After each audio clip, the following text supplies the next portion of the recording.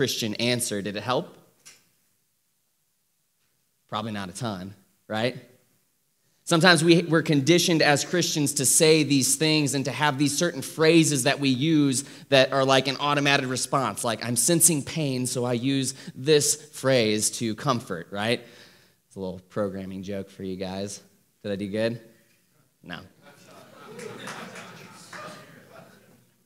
But we have these Christianese responses, right? That's what I call it when we have these pat answers. Um, that they're, they're, they're usually based in truth. God is in control. That's true. It's usually based in truth, but we overuse it or we use it all by itself and we don't try to do anything else. We just say, oh, but don't worry, God is in control. And devoid of meaning or emotion, that can leave us kind of worse off than before sometimes, right? We have these sayings like, let go and let God, or when God closes one door, he opens another. Or if God brings you to it, he'll bring you through it. And none of these phrases are bad. I've used some of these phrases too. But when somebody's really hurting and that's all we have for them, do we really mean it? Do we really know that it's true when somebody says that to us when the world is crashing down around us? Or does it sometimes just leave us feeling like life is too hard and you just can't do it anymore. If that's the only response that a Christian has for you. But I really don't think that the phrase God is in control should be a pat answer. I don't think it's a, a phrase that should be used flippantly. And so tonight, I don't want to just tell you that God is in control. I want to show you, I want to really show you through God's word in a story about real people experiencing real pain and real depression with real problems. And I want to show you that God is in control. And so, if you guys will, uh, turn in your Bibles to the book of Ruth. And while you're turning there, a little bit of backstory. The, the story of Ruth is a, it's a pretty interesting one. Um, it, it, happens during the, the time of the judges, um, which was about a generation or two after um, the conquest in, in, in into uh, the promised land.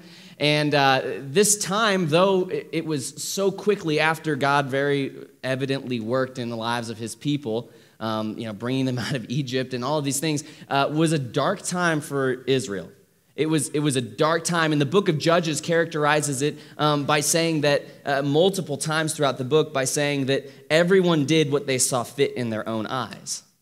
And if you read through the book of Judges, what people saw fit in their own eyes ended up in civil war, uh, pagan idol worship, child sacrifice, torture as a community event.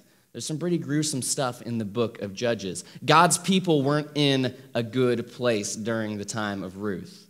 And so it kind of seems like an unlikely time for God to step in uh, to weave his redemptive work. There's no, uh, there's no partings of the Red Sea in the book of, of Ruth. It's people of fairly little consequence in the grand scheme of things. There's no kings or queens or miracles or not even God coming and saying, uh, hey, let me talk to you like I talked to Abraham. Um, the story is really just about some ordinary people. That's part of what makes it compelling, and I think you'll see as, as, as we go through the book that uh, it's relatable because it's, it's a story about normal people that God is working in their lives and working through the pain. And so, if you will, read with me in the first chapter, verses 1 through 5 of the book of Ruth. It says, In the days when the judges ruled, there was a famine in the land, and a man of Bethlehem in Judah went to sojourn in the country of Moab. He and his wife and his two sons, the name of the man was Elimelech, and the name of his wife was Naomi. And the names of his two sons were Mahlon and Chilion. They were Ephrathites from Bethlehem in Judah. They went into the country of Moab and remained there. But Elimelech, the husband of Naomi, died, and she was left with her two sons. These took Moabite wives, and the name of the one was Orpah, and the name of the other Ruth. They lived there about 10 years, and both Mahlon and Chilion died. So the woman was left without her two sons and her husband. So this is the setting for the story. Naomi's kind of the main character here. Um, and it doesn't really go into much detail, but this is like the worst setting to, and opening to a story ever, right? Naomi is uh, in a foreign land her husband is dead, and now both of her sons are dead. And on top of that, she's an old woman. Basically, Naomi's life is shattered, it's in pieces. Um, and I think when we read this passage, we, we don't really dwell on this too much because it's just a couple short verses where it even talks about this. Uh, but Naomi is, is crushed. There's, there's really nothing left for her, and that's even what she says. Literally, things could not be worse for her. And so we move into the story, and, and uh, we're going to kind of skim through some of this. But um, Naomi decides, she says, Well, you know, I'm just going to go back to my homeland. There's nothing left here for me. Uh, basically, all this, all this land is, is, is, is trouble for me. So she's like, All right, I'm going back to my homeland, going back to Bethlehem. And Ruth and Orpah, who were her daughters in law, uh, uh, they both try to follow her. And so they're trying to follow her, and they're like, let us come with you. And she's resisting. She's pushing back. She's saying, no, don't come with me. Um, but Ruth kind of persists. And obviously, we wouldn't have the book of Ruth if she didn't, right? But Ruth persists, and we'll just read this section here, verses 12 through 18, and then talk about it a little bit. So Naomi says, Turn back, my daughters, go your way, for I am too old to have a husband. If I should say I have hope, even if I should have a husband this night and should bear sons, would you therefore wait till they were grown? Would you therefore ret- refrain from marrying? No, my daughters, for it is exceedingly bitter for me, uh, for your sake, that the hand of the Lord has gone out against me. And they lifted up their voices and wept again. And Orpah kissed her mother in law, but Ruth clung to her. And she said, See, your sister in law has gone back to her people and to her gods. Return after your sister in law. But Ruth said, Do not urge me to leave you or or to return from following you. For where you go, I will go, and where you lodge, I will lodge. Your people shall be my people, and your God my God. Where you die, I will die, and there will I be buried. May the Lord do to me more, and also, if anything but death parts me from you. And when Naomi saw that she was determined to go with her, she said, No more. So, this is our first point of the sermon is that God helps us through other people. God helps us through other people. But here, here's the scenario, and I think it's a pretty relatable one. Naomi has lost everything. Probably most of us in the room have not lost everything in the same way that Naomi has. But Naomi has truly lost everything. And she's angry and she's bitter. She says, The Lord's hand has gone out um, against me. There's nothing left for me. I'm just going to go back. Please don't even follow me. Like, she's basically saying, I'm worthless. Like, I offer you nothing. Ruth and Orpah, go back to your homeland. Make a life for yourself, is what Naomi's saying. And I think sometimes we feel like this too, even if we haven't lost as much as Naomi. But it doesn't mean that you can't experience real pain. But I think that we can relate a little bit, right? I would imagine everybody's probably seen this play out in their own lives or in the lives of somebody else. When the world's crashing down around you and, and you're looking at God and you're like, God, where are you? Do you even care? Are you going to show up at all? And you begin pushing away people around you because you're bitter and you're angry and you don't see God working. And so you're pushing away those that want to help you. Maybe you've been pushed away, maybe you've been the one pushing people away before. Maybe you were bitter like Naomi. In verse 20, she says, uh, she comes to the people in Bethlehem and she says, Do not call me Naomi, call me Mara, for the Almighty has dealt very bitterly with me. Uh, Mara means bitter. She's basically just like, Hey, this is my life, bitter. God hates me. He's destroyed me, and I'm bitter, so call me that. This is my life now. Sometimes I think in the midst of deep pain, it's easy to forget that God's provision may come through the help of other people. You see, Naomi tried to shut out her daughters in law, Ruth and Orpah, but Ruth stayed by her side, right? Ruth clung to her. And I think it's quite obvious that God was working through Ruth to stay by Naomi. Because Ruth very actively goes on throughout the rest of this story to very actively and practically provide uh, for Naomi, to do things that Naomi was probably too old to do, going and gleaning in the fields and, and bringing food back for Naomi. I mean, Ruth literally did everything and sacrificed her whole life to be with Naomi. But before we get to that part, I, I want to talk about the, the one big thing that Naomi missed. This is, this is where she really missed it in verse 21. They come back and they're talking to the people of Bethlehem. And Naomi says, I went away full, and the Lord has brought me back empty. Why call me Naomi when the Lord has testified against me, and the Almighty has brought calamity upon me? You guys catch that? She says, I went away full, and I came back empty. Who's probably standing right next to her? Probably Ruth. Probably Ruth is standing right next to her while she says, I went away full, and I came back empty. And we're not ripping on Naomi, but I think this is where she missed it. This is where she missed that God was trying to help her through Ruth.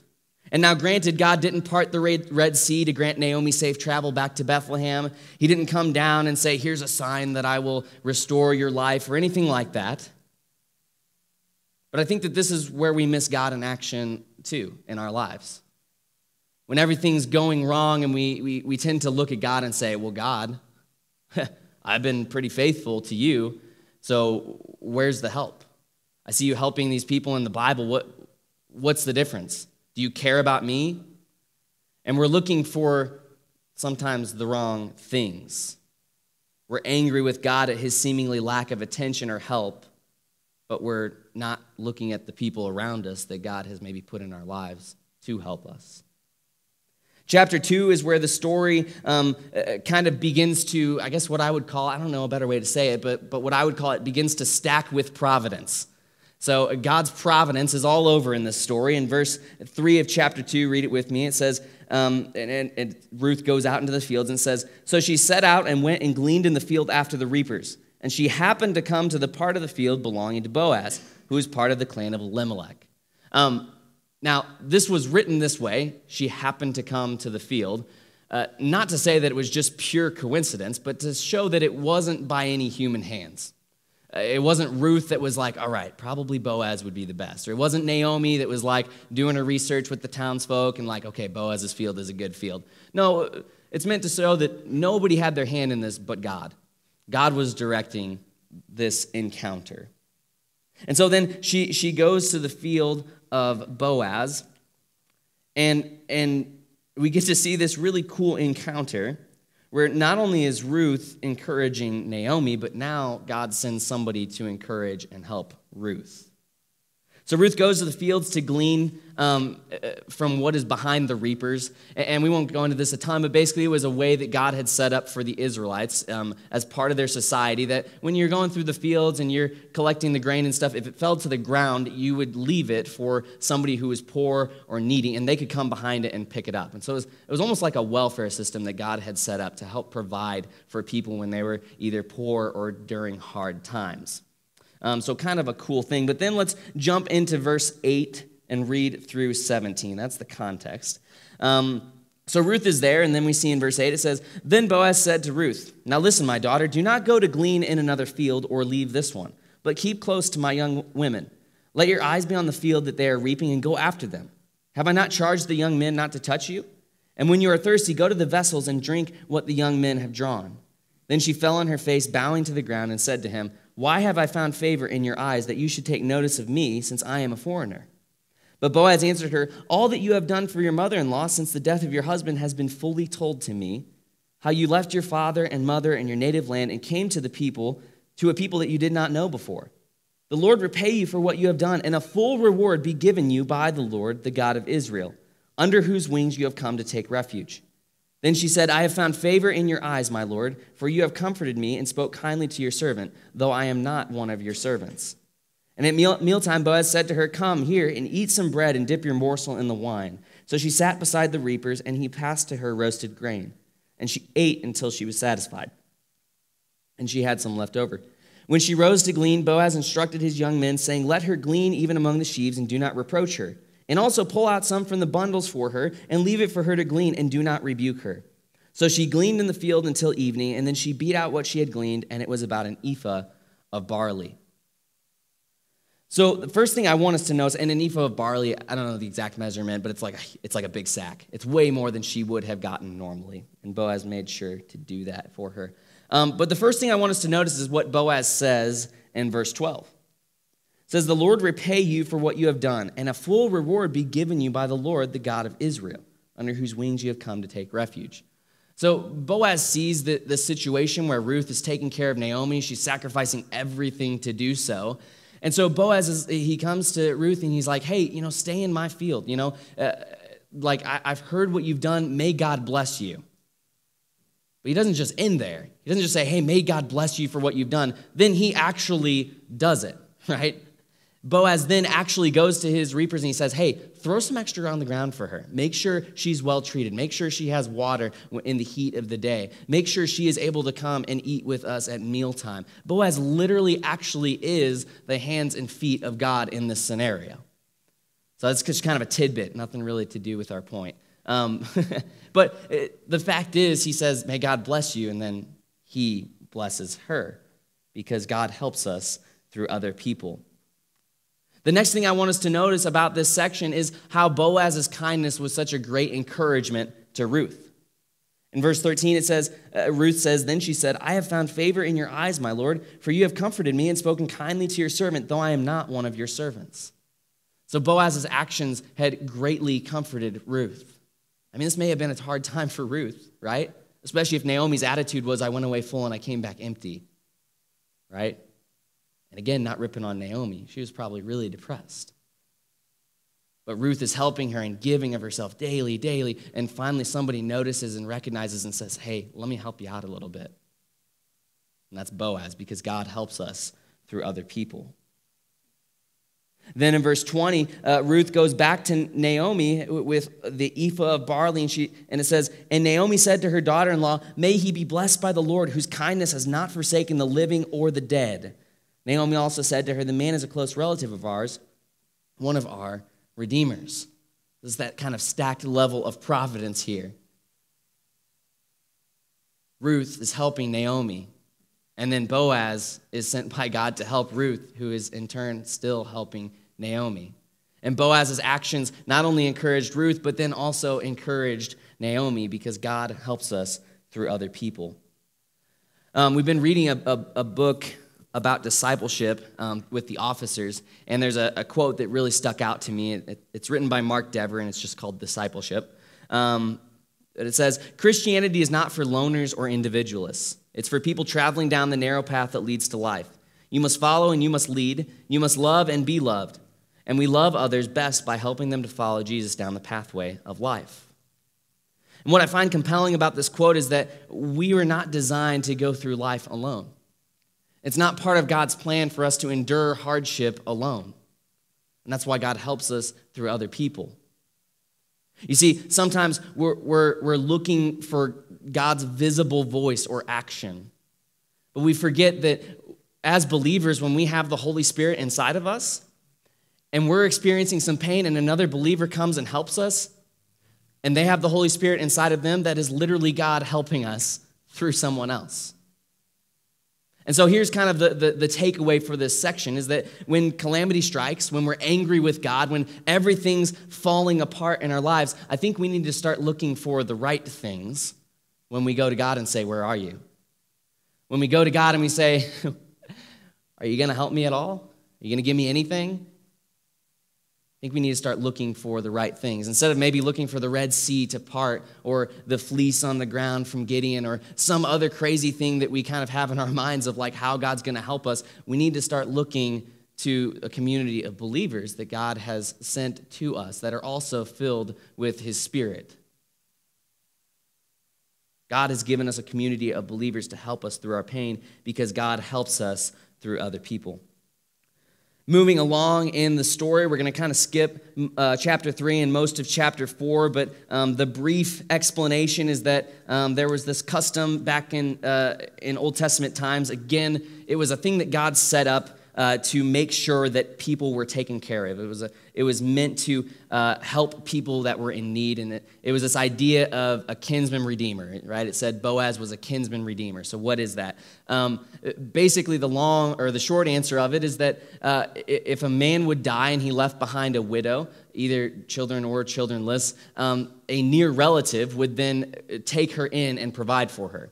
If she didn't have any kids, kids, typically he would marry her, and then her kids would carry on the, uh, the name of the, the deceased father. And it was a way of God making sure there was systems set up in his, in his community of people that would care for uh, the needy and the destitute, widows, right? Um, and so uh, this happens with, uh, with Ruth and Boaz. They find out he's the, um, he's the kinsman redeemer. And so Boaz marries Ruth, and it's this beautiful picture that's really a lot like uh, Jesus and us, right? Ruth comes to Boaz with really nothing, right? I mean, she's a foreigner, she's a widower, uh, nothing really to offer. She's poor. Um, her grandmother her, or her mother in law kind of comes with her as a package deal. In the grand scheme of things, she's not really offering much. But Boaz is a righteous man and he follows God's law and he marries her and brings her in and provides for both of them. Um, and it's a lot like how we come to Christ. We don't offer anything to Jesus in the equation of our salvation. We come to Jesus just as much foreigners as Ruth, separated from God by our sin, not adding anything to God because he doesn't need anything from us.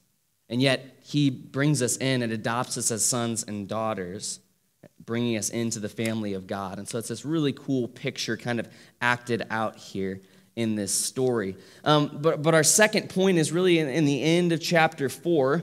And, and our point is that God brings good out of bad. That might be another kind of Christianese saying for you guys, right? Uh, you may have heard that one before. But God brings good out of bad, and let me show you how.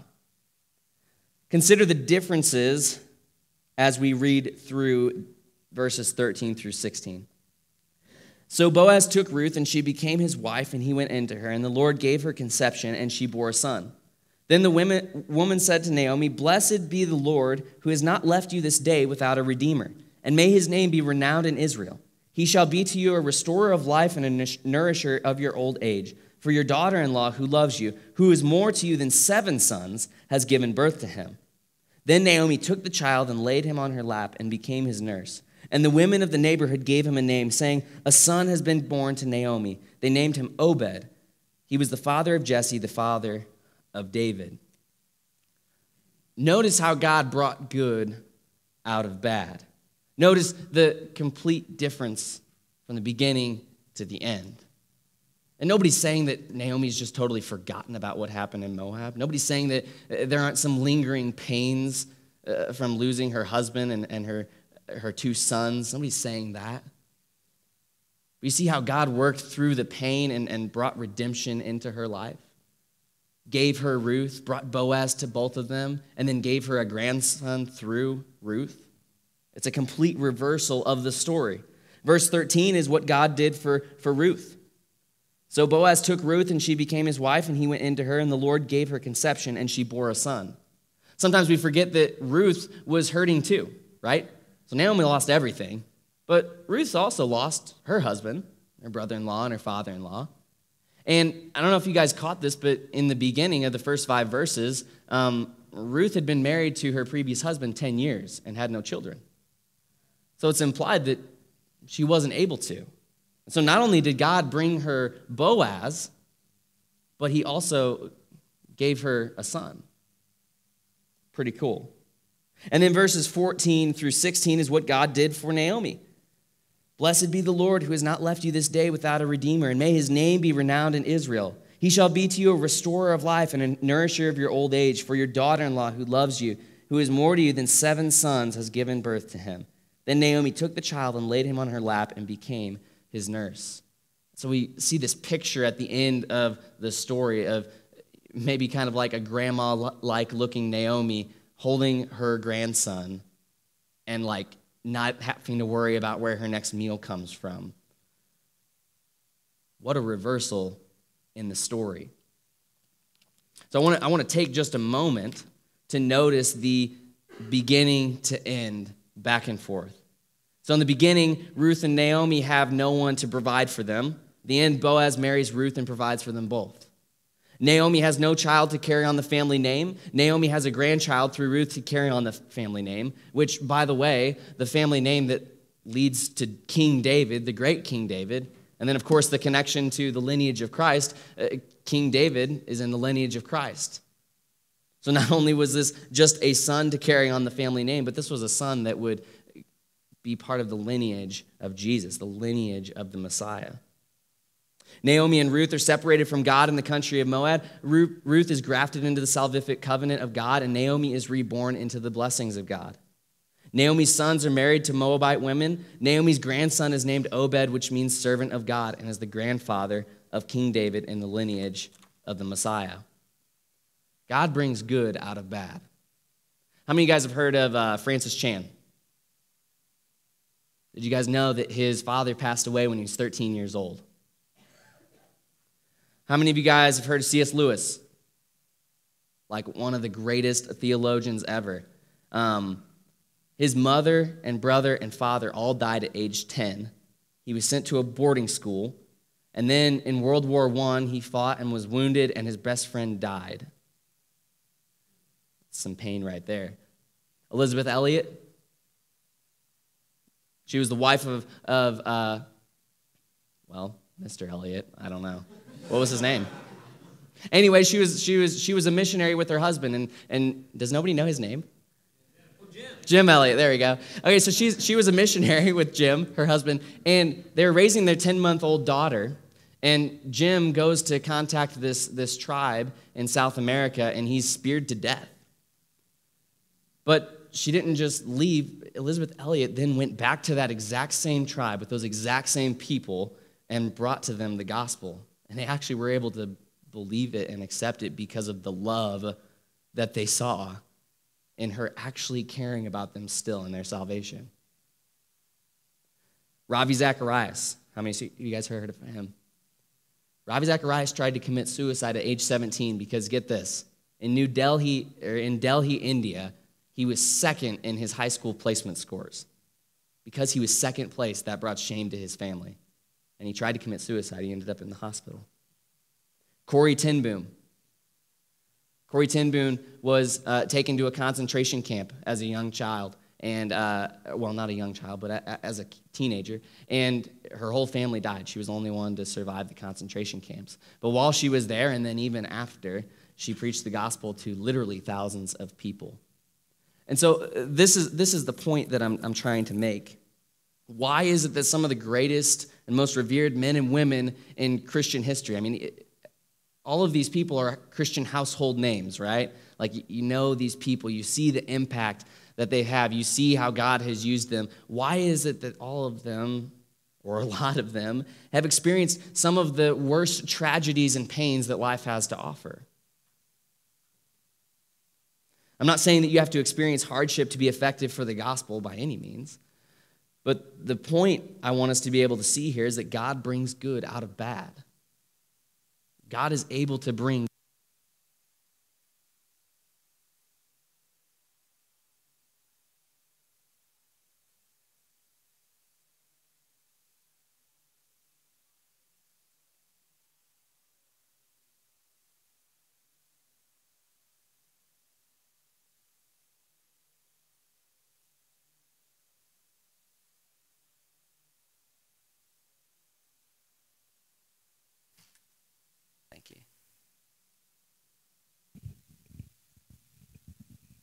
And so I think our application is found in this verse right here.